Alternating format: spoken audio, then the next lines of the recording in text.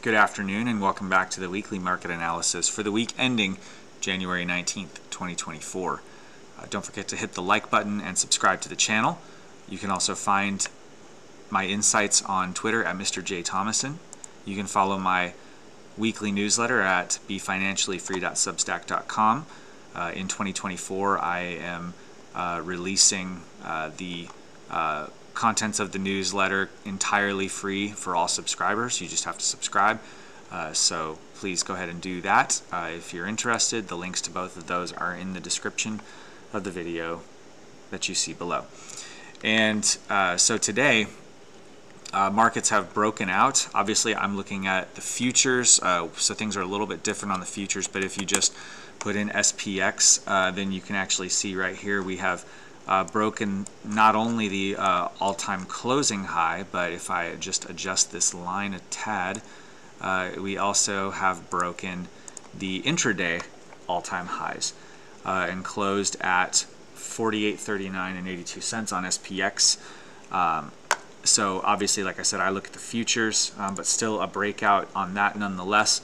Um, a lot of things going on technically. You see a lot of lines on the chart, uh, and I'm going to try to explain kind of uh, what I'm thinking here on that just shortly. Uh, but uh, definitely had much more of a, a bearish uh, tone last week. I'm, I'm glad to say that that was wrong. Uh, definitely actually in my most recent newsletter, which was posted, one of the things that I put was that over the next week the likely direction for risk assets was uncertain with an upside bias. So uh, a lot of times what, what you see in my videos is kind of my gut reactions uh, to the week and kind of just things that I've been watching based on what I'm seeing. Uh, but definitely over the weekend, my research process, which I outline all throughout this newsletter, um, I kind of summarize with my reasons to be bullish over the next week and then my reasons to be bearish uh, over the next week.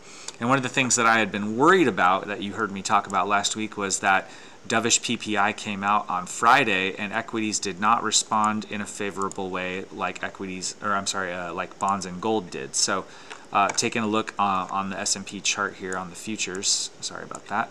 Uh, that day was uh, right here.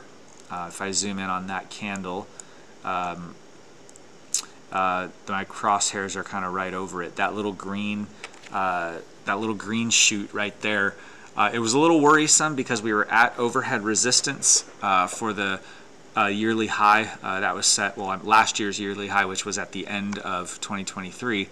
Uh, we It looked like we were getting rejected off of it a second time, uh, and we got no, we didn't get a huge bid up in the market on, in equities like we did. Like if we go to the to the bond market, we'll, this will be the inverse.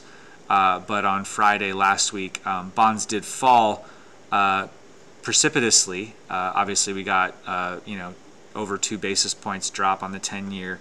Um, maybe another way to look at it would be to look at the bond futures. So if I go to the 10-year futures chart uh, on Friday, you actually saw it close up pretty strongly. Obviously, in the last week, bonds have been down. That's really interesting. We'll talk about that maybe in just a little bit. But again, just suffice to say, I was a little concerned uh, on the upside because of uh, because of that close, right? And then if you go to the gold chart, which I will do that right now, uh, gold also had a really big day on Friday last week. Um, it ended up closing off of its highs, but um, well, well off of its highs, but it was up pretty strongly on the dovish PPI news, and I was a little concerned uh, you know, I outlined it in my newsletter. I was a little concerned that despite that dovish PPI, equities didn't respond nearly as favorably. And I also talked about the dollar appearing to have been in the process of continuing its reversal off oversold lows. Um, so, uh, and, and I, I, actually wasn't even considering what was going to be happening in bonds uh, because uh, the PPI news to me suggested that uh, that the yield should have been coming off because bonds would be bid on uh, the weak PPI. Uh, and actually, it's really interesting to look at the cross asset price action that was taking place because, you know, so we didn't have we didn't have the the market like the bond market opened this week, but if you go on the week, bonds uh, the 10 year was the yield went up 18 and a half basis points. Um, which is, you know, it's not the hugest rise, but I mean, if you look at the rise this week compared to a number of the weeks from 2023 and 2022 and all that, I mean, it's, it's a pretty good size rise. It was off, it was down from uh, this week from where it had been uh, at one point of the week, but, um, you know, it closed a little bit down today, but still, uh, you know, it's a pretty good, strong move, right? Um, despite the fact that the PPI data was dovish. And one of the things that happened was uh, the uh, one of the things that happened was that uh, this week at Davos um, overseas, you had uh, a lot of rhetoric from central bankers uh, around the globe talking much more hawkishly, uh, and I think that put a little bit of a bid into, um, or it led to a little bit of a sell-off in bonds. Uh, but what else was interesting was, was the action in the dollar. Um, the dollar was also up this week. Dollar was up uh, 0.8, uh, so about 78 basis points. And that was interesting considering the equity price action to end the week. If you look at on the weekly chart here, you can see the huge wick to the downside. So, you know, my video from last week was prescient in that it, the first two real trading days, or the you know two and a half trading days, if you include Sunday, um, that price action was uh, was pretty bearish. Uh, and then, of course, in the last two days, if I go back to my daily chart, in the last two days, we, uh, I mean, you, kind of saw it on Wednesday. What happened was we were down over 200, uh, well, not over 200, I'm sorry. We were down like 50 points on the NASDAQ, I'm sorry, on the S&P here, um, and then ended up retracing about half the move, uh, which to me was really interesting, and I'll I could talk about that as well. Um, and then we got a huge move up, 40 point move up in the S&P yesterday, and then almost 60 points up today. Um, so uh, the first half was prescient from my video, and then the second half actually uh, fit more of what my newsletter suspected, which was uh, that honestly, there's a lot of things that could potentially allow this trend uh, to continue. So I'm thinking about a lot of different things, uh, but I want to go to, I'm going to go to a one minute S&P chart just for a moment so that I can go back to yesterday's price action. Uh, so uh, yesterday, excuse me, so yesterday we were down uh, from Wednesday, uh, and, and, and again, even looking at Wednesday, we had gotten down pretty low, 47.46 was uh, where we were at on the lows of uh, Wednesday evening or Wednesday afternoon. Um, and then we got, uh, or yeah, Wednesday late morning, I guess we'll say. Uh, and then, of course, it really roared back before the close. Uh, and it's pretty wild. We're almost 100 points higher than we were at the lows uh, on Wednesday. Um, but obviously, we came up. and then it was interesting because the price action on Thursday, in my opinion, it was acting like that little bounce back that it was getting was going to sell off. Uh, and then what was really interesting was the that we had a tips auction at about 1 p.m. between 1 p.m. and 1:30 p.m. Eastern time on Thursday, and basically the market hasn't looked back ever since then. Um, and what was really interesting was uh, was on looking at it on the Nasdaq. I'll show you what it looked like on the Nasdaq. Uh, it was essentially a V bottom, right? So the auction was around 10ish. The reports about the auction were about 10:30, and it was basically a straight line up, right? And then you know you had you have like Brent at Spot Gamma was talking about the massive call buying that was happening in the Nasdaq during uh, you know basically from two o'clock until uh, until you know 2:30.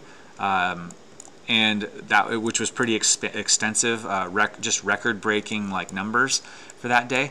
And then you know we kind of went sideways, and then what was really interesting was just kind of like went up since then. And then of course today we kind of dipped back a little bit, and then just like a rocket off. Um, so yeah, it was. I think there was a lot about that uh, that tips auction that you know changed.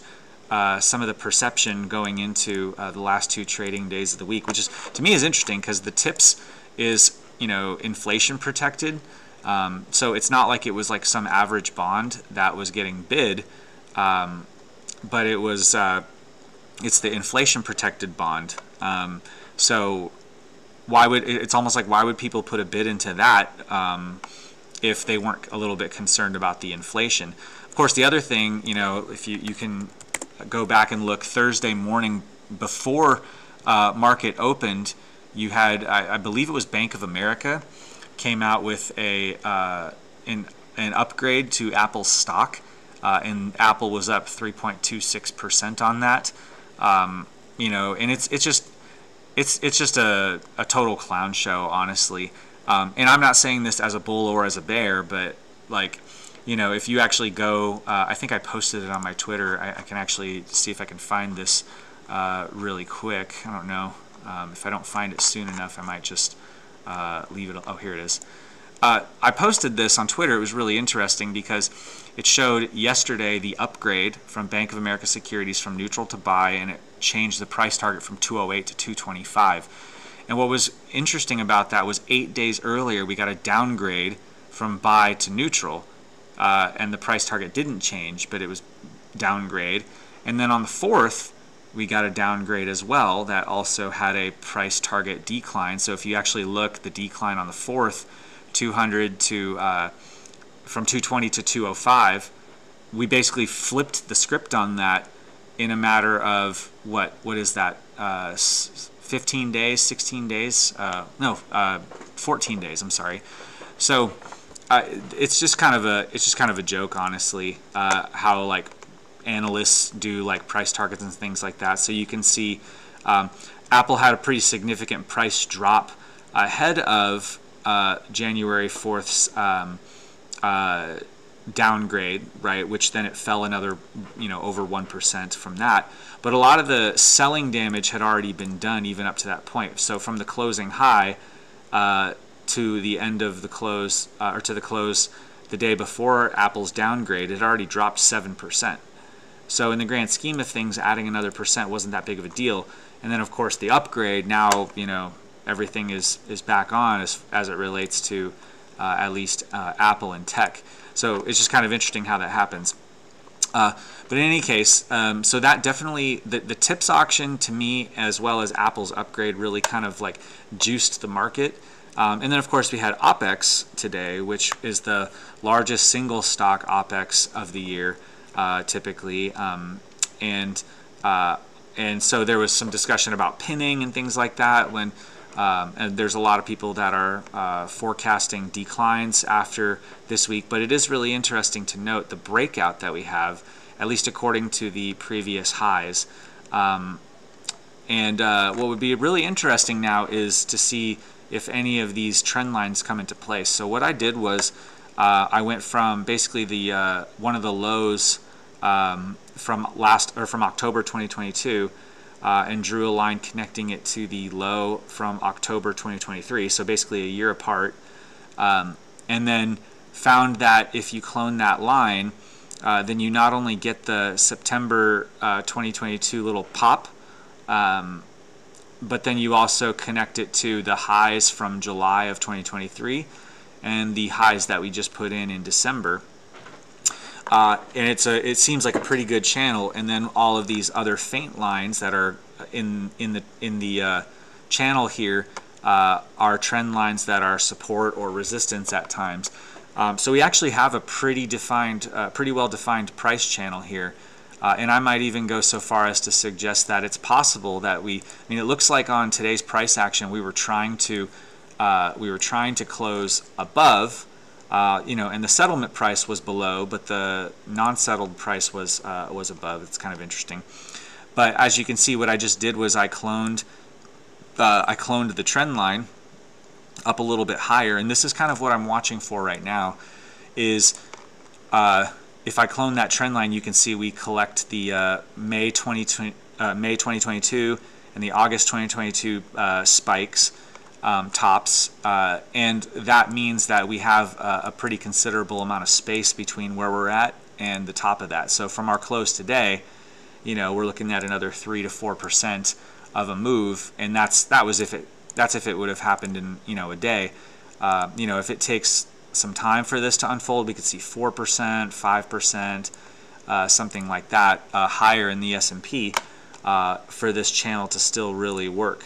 Um, it looks like this is the market structure right now. I'm not really sure. I'm going to make this line uh, faint uh, like some of my other lines um, for now. Uh, but that's something I am going to be uh, to be watching over the next couple of weeks to see if that plays out. For now, the way that I read this is this is resistance until it's broken and proven as support. So we've got a couple of different ways on the S&P that you can look at this. Um, you could make the case that this breakout uh, from the red horizontal trend line, which is the previous high, uh, needs to be retested. Uh, and so the question is what's going to happen, you know, when and if price ever comes back to this level to test. Is it going to hold or is it not? Uh, probably what would be pretty painful for traders would be if this pop ended up getting sold off and if it came back down below. That would actually be a bad sign. Uh, another thing, uh, or so, so one thing that could happen is we could get this to come back and then retest and resume or break down. So that's a possibility. The other thing that I would be watching to see is if we end up getting above, oh, this I gotta move this. Uh, if we end up getting above the the rising trend line, retest that and resume the trend like this.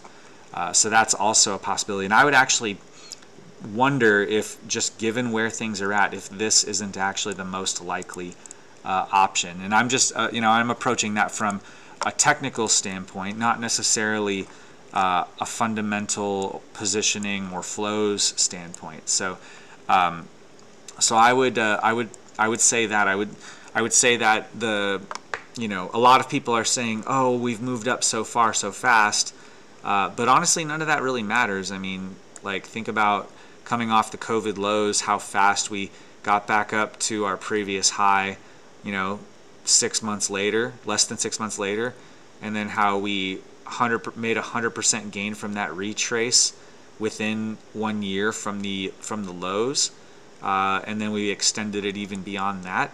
I mean, just essentially a straight line, you know. And of course, this this was happening during monetary easing, interest rates at zero, right? And the thing now is, despite the fact that stocks have moved up so high, I mean, what do you think is going to happen if we get easing and cuts like the market is is predicting. Uh, if, if, that in fact does happen, what's to say that things can't just continue to go up? Uh, that's that was basically the story of prices from the March lows of 2020 all the way up to the peak. So uh, anything is possible, and just because prices have gone up doesn't mean that they must come down. Uh, so you have to be really careful when you think about when people throw around the word valuation, um, you know, and uh, really honestly, valuation's in the eye of the beholder. I mean, a lot of people thought valuations were too high back in July. You know, are they any better now? Uh, what's really changed at this point? So, uh, so just consider that. Um, Nasdaq obviously very strong. Tech is is uh, tech is really in charge. Uh, and what was really interesting that I want to let me see if I can do this uh, really quickly. Uh, let's see. I'll go compare, and I'll do ES.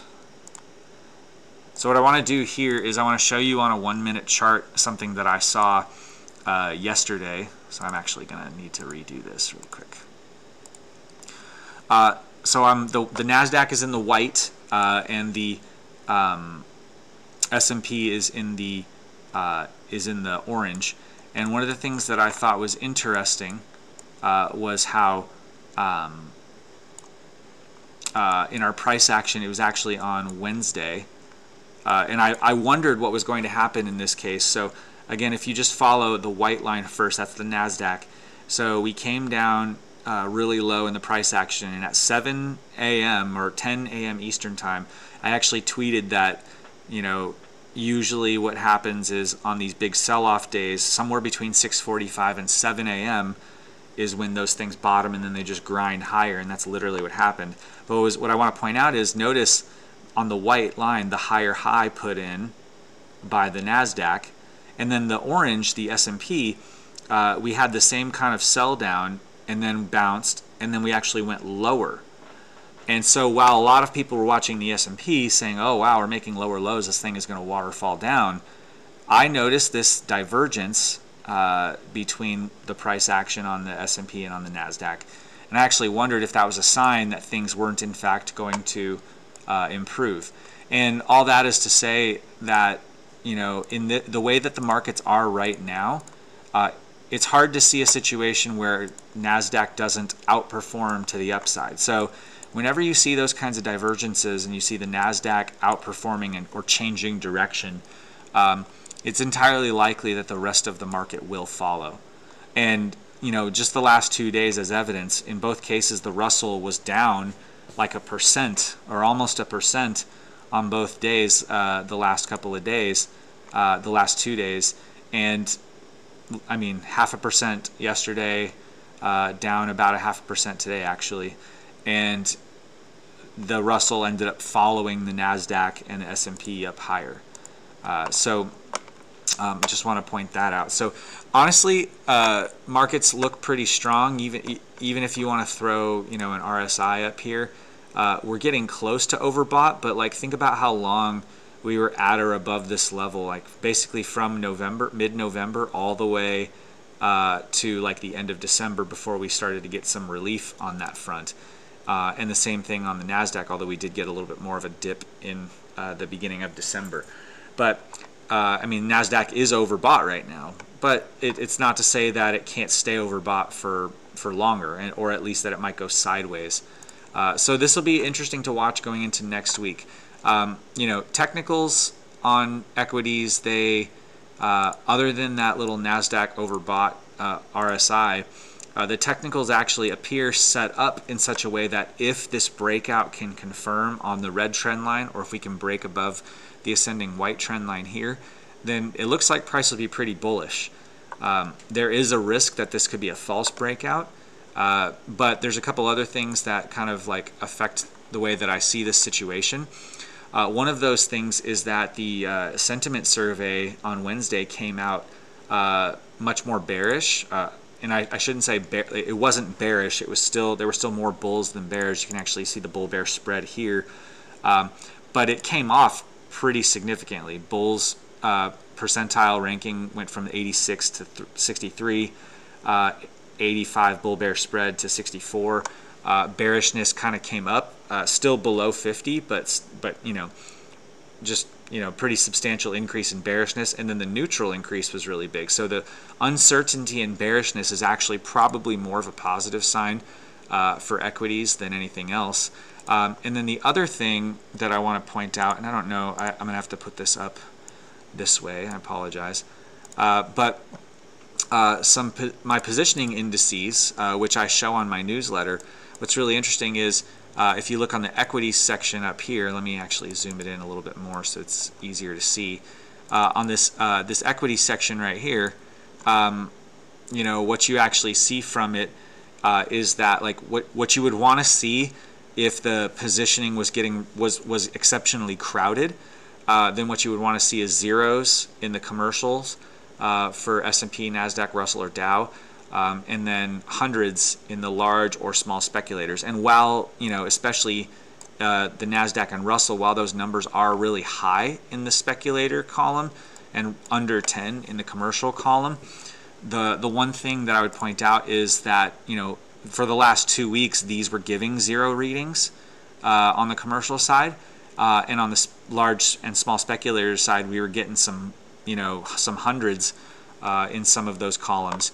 So all that is to say is like the positioning got less long over the last uh, over the last week, um, and the sentiment came off and got got less bullish, and so I think that there is a possibility uh, that far too many people are expecting this to reverse, to turn around, or people think that it's gone too far, too fast, and that this that just might be fuel for uh, you know for further takeoff.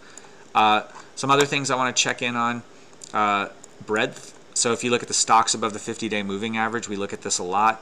Uh, obviously, we had a couple of uh, a couple of weeks where we were elevated between 85 and 90, and actually on a couple of occasions closed above 90.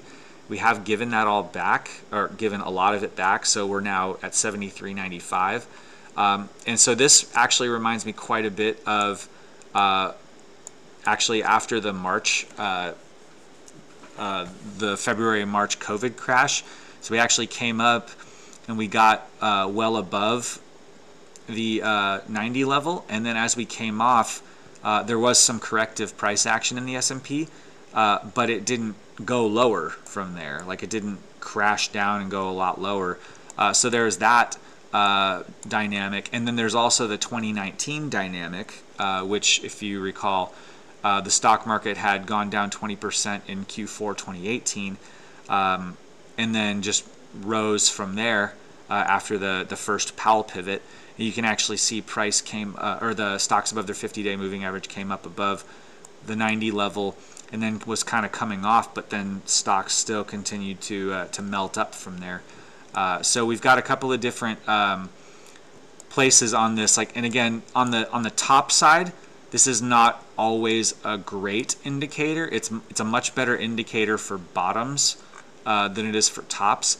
So, you know, whenever this thing hits the the 10 level, then you can pretty much just hold your nose and buy, and it's pretty high. Like I mean, it's a 80% hit rate or something like 83% hit rate right? That percentage is not as great when the stocks above their 50-day moving average goes to the 90 level. Um, so whenever you see this, you have to incorporate a positioning analysis or uh, a technical analysis, or you have to include multiple other things to get a good read using this. For now, what I would say is that the breadth indicator has come off both on the stocks above 50 and stocks above 200 in such a way that it's actually supportive of price actually continuing to the upside. Um, so I do want to uh, highlight that um, as well. Uh, and then the other thing I just wanted to mention here, a ratio that I often will look at is the high beta to low beta ratio. And I like to use my tide indicator on this. Um, and something that often will happen is price likes to come back towards the colorful line, the tide line. And the high beta low beta ratio uh, what you notice actually when you look at it is when it goes into a bearish tide or when the trend is down generally, you can pretty much count on the stock market to underperform or to correct, which it essentially did from the time that the tide crossed in January 2022 uh, until it kind of bottomed out and started going sideways, right? So, uh, and then of course the beginning of uh, in January 2023 we got the bullish tide cross, and basically ever since then we've just been in an uptrend.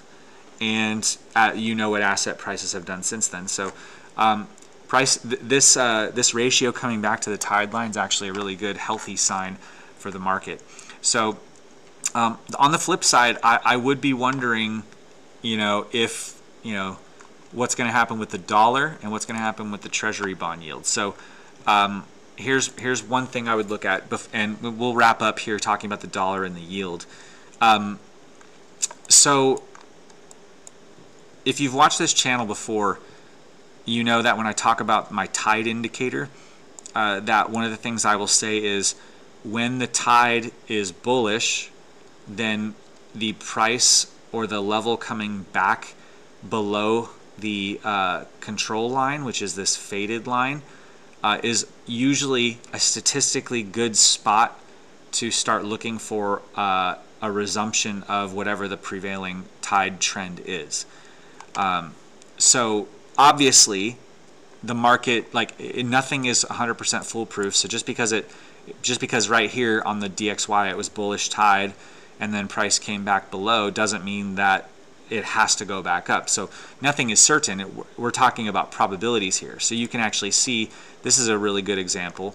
In bearish tide, every time price came up above the control line, it sold off. Came up, sold off, came up, sold off, right?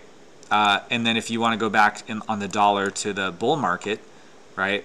Uh, you know, ever since the bullish tide happened, comes back, takes off, comes back, takes off, right? So it's a pretty good sign. And in this case, the tide is bearish, and price came up and, and intraday traded multiple times above the control line. So what I'm wondering is, is this about to resume to the downside? Now positioning suggests that the short dollar trade is actually getting a little crowded. Uh, but then there are also other currency trades that seem to be giving mixed signals. So this is a there's a lot of uncertainty for me around the dollar trade here. You can actually see the tide line is turning green, which means that the underlying tide momentum is actually turning more bullish, despite the fact that the tide itself is bearish.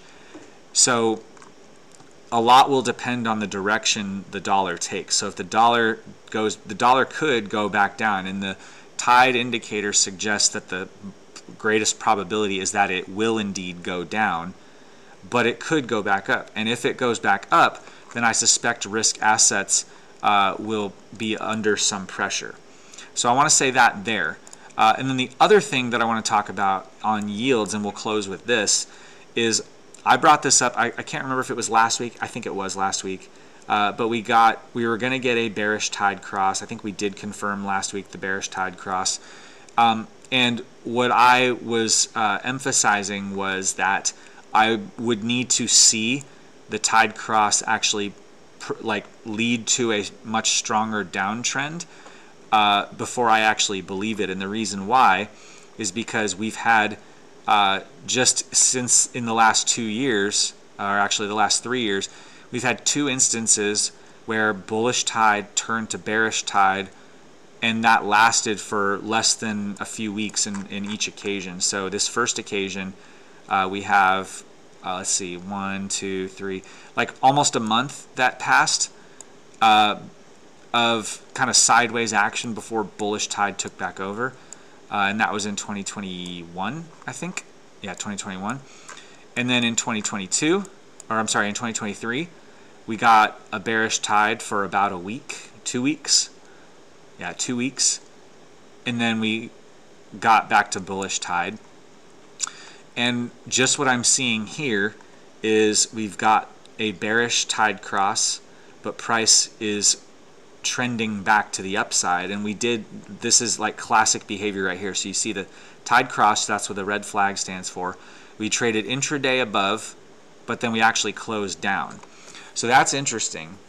So there is, I have some, just like with the dollar, I'm uncertain about the direction that yields appear to be moving based on my indicators. Because it's bearish tide, the probability ought to be more to the downside. However, the last couple of times, like I said, we got that bearish tide cross, it didn't really mean anything. Uh, and the most sensitive, or the, the time where the tide cross is the least certain as far as like predicting uh, the probability of future price action um, is when you have just had a fresh cross. So like in all of these situations, the problem was always that the tide crossed as price was converging towards the tide and control line. And the same thing happened back here. Tide's coming down, but price is converging back up towards it. And so that makes me wonder, are we going to see three times in a row now that the bearish tide cross ends up being a false cross and leads back to a bullish tide cross? And if it does, then that would mean that there's room for the longer term trend to continue to the upside. And that would also, to me, be dangerous for risk assets. So uh, I want to close with that. If you want to see more insights and get more uh, of my thoughts and my process, then you can subscribe to my newsletter. Like I said, the link is in the description of the video below. Um, I hope you guys have a great weekend, and I'll see you guys next week.